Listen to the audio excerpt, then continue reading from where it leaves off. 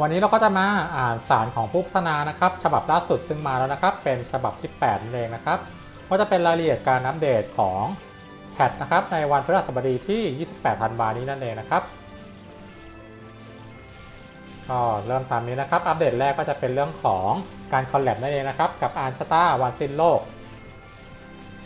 ก็จะเป็นการ collab กับอาร์ชตาวันสิ้นโลกนะครับ ซึ่งจะเป็น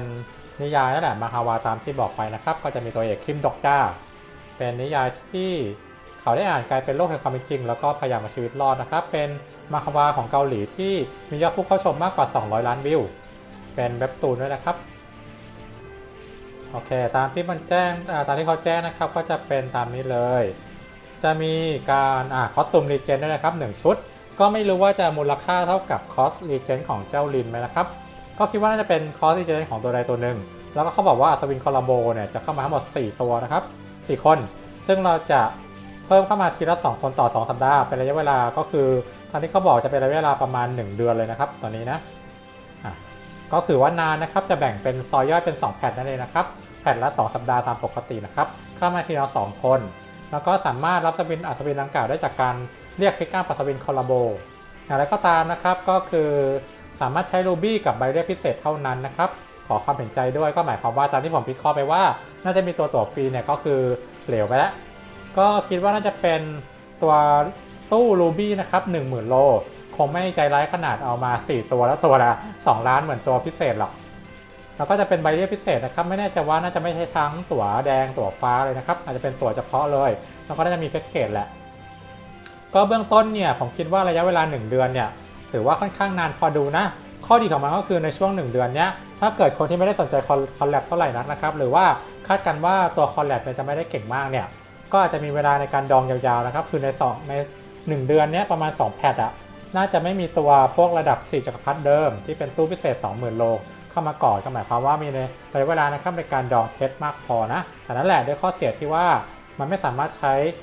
ตั๋วฟรีได้นะครับ ใช้เฉพาะรูบี้แล้วก็ใบเรียกพิเศษเนี่ย ก็ต้องมารอดูกันว่า รูปแบบอย่างเงี้ยผมคิดว่าน่าจะได้แค่เก็บอย่างละตัว คือเอามาเป็นคอลเลกชันเพื่ออัพ codex อย่างเดียวนะครับ แต่ว่าอัพดาวเนี่ยคิดว่าเป็นไปได้ยากแล้ว ต่อไปนะครับจะเป็นการเพิ่มเลเวลสูงสุดของอัศวินนะ ก็ตามที่คาดนะครับจะเป็นขยายเป็นเลเวล60แล้วก็ใช้ไอเทมการเงินเฉพาะใหม่นะครับชื่อว่าหินพัฒนาอัศวินนะครับเพิ่มได้ครั้งละ5เลเวลแล้วก็เป็น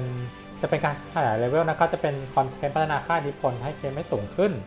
พื่อเพิ่มค่าสเตตัสรวมด้วย ซึ่งตอนใช้ไอเทมการเงินดังกล่าวนะครับในดันเชียนนี้คือสัตว์อัศวิน เมื่อถึงขั้นที่กำหนดไว้ก็ตามที่ผมเดาๆแล้วแหละก็คิดว่าน่าจะขยายดันเชียนอัศวินนะครับขึ้นไปเป็นมากกว่า 100 ใช่ไหมแล้วก็ใช้ไอเทมใหม่นะครับ ก็ไม่ได้ใช้ไอเทม RPP โดยตรงนะครับ ต่อไปจะเป็นเพิ่มหน้าคุณสมบัติพิเศษนะครับ ก็คือขยายเมื่อ ปลดล็อกนะครับทั้งโจมตีป้องกันส่งเสริมนะครับครบทั้ง 3 ประเภทแล้วนะครับจะมีเส้นใหม่ขึ้นมานะครับเป็นเส้นที่รวมทั้ง 3 เส้นเข้าเป็นเส้นเดียวกัน แล้วก็ไม่น่าจะไม่มีเงื่อนไขพิเศษเหมือนกับ EXP นะครับก็คือเหมือนกับอัพต่อได้เลยเพียงแต่ว่าก็คือสำหรับคนที่แบบอัพแบบกระจายกันใช่ไหมก็คือส่วนใหญ่จะเน้นไปที่โจมตีเป็นหลักอะถ้าเกิดจะ up ต่อไปก็คือต้อง up ให้ครบทั้ง 3 3 เส้นเลยนะครับโจมตีป้องกันส่งเสริมเลยถึงจะ up ขั้นต่อไปได้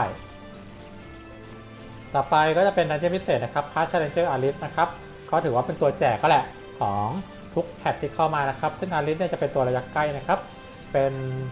debuff นะครับในการลดโจมตีของเป้าหมายถ้าติดติด cri แล้วก็มีม็อบ debuff ปกตินะครับเป็น skill หมู่ก็ถามว่าตัวนี้เข้ามาผมว่าน่าจะ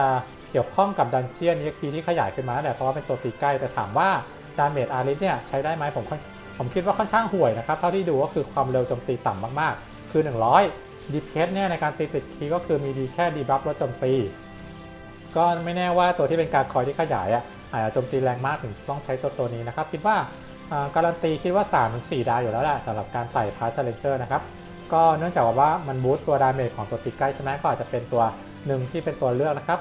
แต่ถ้าเกิดสำหรับใครที่แบบมีตัวตีใกล้ 3 ดาวขึ้นไปเยอะแล้วเนี่ยอาจจะไม่ได้จำเป็นมากสำหรับเจ้าอาริสนะครับ เพิ่ม stage กับหอคอยไม่สิ้นสุดนะครับก็คือเพิ่มเพิ่มพื้นที่หุบเขาแดง จาก 7,200 นะครับ เป็น800ได้เป็น8เป็น 8,000 นั่นเองนะครับ ก็ถามว่าหลังจากนี้เขาน่าจะเพิ่มทีละ 800 ใช่ไหมเพียงแต่ว่านั่นแหละทั้งการ nerf ด่านนะครับของเดิมแล้วก็การขยายเลเวลup คุณสมบัติเนี่ยคิดว่าต่อ 1 patch เนี่ย800 stage อะก็คือถ้าเกิดสายฟรีสายเติมน้อยอะน่าจะไต่ได้เพิ่มขึ้นแล้ว ในการเก็บ ruby นะครับแล้วก็มีขยายชั้นนะครับหอคอยไม่สิ้นสุดเป็น 800จาก700 นะครับจริงๆมันเป็นนกลไกที่นะในการหา ruby นะครับ แล้วก็การปรับปรุงอื่นนะครับ ก็ตามนี้เลยนะครับ มีพวกการแสดงข้อมูล passive aura นะครับทำให้มันดูการต่อสู้ได้ง่ายขึ้น เพิ่มเลเวลอัศวินนะครับ เพิ่มคุณสมบัตินะ แล้วก็อันนี้แหละแต่ที่บอกคือขยาย dungeon นะครับ EXP อัศวิน gargoyle กับ dungeon ตาหน่วยอัศวินก็คือจะเป็นดูราคานะครับ เป็น 300 ก็ในการหา EXP มากขึ้นแล้วก็อันนี้ในการ item ในการอัพเกรดนะครับ level ใหม่นะครับ แล้วก็เพิ่มฟังก์ชันท้าทายใหม่อัตโนมัตินะครับ เมื่อเคลียร์ boss stage ไปสำเร็จก็คือแทนที่มันจะย้ายมาที่หน้าปกติต้องมานั่งกดตี boss ซ้ำใช่ไหมก็คือตีใหม่ได้เลยทำให้เราไม่เสียช่วงเวลาที่แบบเออเรากดตัวอาหารไปนะครับ ก็ถือว่าดีขึ้น แล้วก็ปรับให้สายที่มีเติมโฆษณาข้ามโฆษณานะครับสามารถรับตั๋วดันเจียนที่ปกติมันจะต้องมานั่งกดทีละ3ใบทุกวันของแต่ดันเจียนอะ15 ครั้งก็จะเป็นการรับตั๋วครั้งเดียวได้นะครับ ของทุกดันเจียนก็สะดวกสบายขึ้น เราก็จะมีการแจกคูปองเลยนะครับเนื่องจากการคอลแลบครั้งนี้ก็คิดว่าน่าจะแจกหลักๆก็เป็นพวกรูบี้แหละเพื่อเราให้เราไปเปิดตัวคอลแลบนะครับทั้งหมดก็จะประมาณนี้นะครับ โดยรวมก็นั่นแหละ ผมแปลกใจค่อนข้างแปลกใจนะที่ว่าเอาตัวคอลแลบเข้ามาถึง 4 ตัวแล้วก็ซอยย่อยเป็น 2 แพทนะครับ1เดือนค่อนข้างนานเลย แต่ว่าคอสตูมนี่ไม่ได้อยู่ในการคาดการณ์อ๋อเขาบอกด้วยนะครับว่าจะมีตัวที่เป็นสัตว์เลี้ยงเข้ามาด้วยนะ อ่าตรงนี้นะครับเขาบอกว่าจะมีสัตว์เลี้ยงด้วยก็ตามที่คาดแหละน่าจะเป็นเจ้าโทแกบีมีทยองนะครับ แต่ว่ากลัวเหมือนกันนะ ถ้าเกิดมาใช้ ruby อีกนี่คือใช้ ruby ใน collab เนี้ยค่อนข้างเยอะอยู่นะ 2 ตัวสบิน แล้วก็อีกตู้หนึ่งน่าจะเป็น rerun ตัวเดิมแหละมั้งก็ภาวนาให้ตัว rerun เป็นตัวที่ใช้ตั๋วฟรีได้นะครับ ไม่งั้นคือตั๋วฟรีนี่ไม่ได้ใช้ยาวเลยนะ เพราะว่าเฉพาะ collab ก็ 2 ตัวต่อ 2 ต่อ 1 patch ละ ใช้ ruby ทั้งหมดนะครับ โอเค ก็เดี๋ยวมารอลุ้นรายละเอียด ที่แบบเต็มๆอีกทีก็คือน่าจะเป็นวันพุธที่ 27 นะครับ จะได้วิเคราะห์กันยาวๆว่ามันจะต้องใช้ประมาณไหนกันนะครับ แล้วก็ตัว collab น่าสนใจแค่ไหน แต่ว่าบอกไว้ก่อนเลยว่าตัว collab เนี่ยต่อให้มันดีอะก็จะมีแต่สายสุลต่านนะครับที่มันสามารถทำทำดาวได้ สายฟรีสายเติมน้อยอย่างเราเราอะเต็มที่เลยคือ ruby ไม่พอแล้ว เพราะว่าจะต้องเก็บทั้ง 4 ตัวนะครับเพื่อทำโปรเด็กเต็มที่ก็ได้ตัวละ คือตัวละ 1 ตัว ไม่น่าจะถึง 1 ดาวนะครับ ruby ไม่พอแน่ๆ สำหรับวันนี้ก็น่าจะประมาณนี้นะครับสำหรับสารพุทธนานะที่เปิดเผยรายละเอียดมาคร่าวๆแล้วรายละเอียดฉบับเต็มก็ต้องไปรอดูวันที่ 27ธันวาคมอีกทีนึงนะครับแล้วก็ 2 ตัวละครแรกนะครับ ถ้าเดาจากเงาที่เขาเปิดเผยออกมานะครับ คนหนึ่งก็จะเป็นผู้รักในการอ่าน ถือสมาร์ทโฟนอย่างเงี้ยก็คนแรกก็น่าจะเป็นพระเอกของเราได้แหละชื่อว่าคิมดกจาใช่ไหมกับอีกคนหนึ่งก็จะเป็นตัวคนนี้นะครับก็ถ้าดูจากเงาเป็นผู้หญิงผมยาวที่ใช้ดาบเนี่ย ในเรื่องนะครับจะมีอยู่ 2 คนที่พอจะเป็นไปได้ชื่อว่าจองฮีวอน กับอีกคนชื่อว่าลีจีฮาเยนะครับ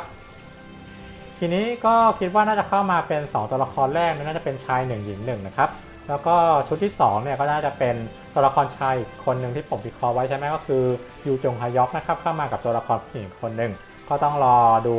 การเปิดเผยเงากันอีกครั้งนึงนะครับสำหรับวันนี้ผมปิกซี่ขอตัวลาไปก่อน สวัสดีครับ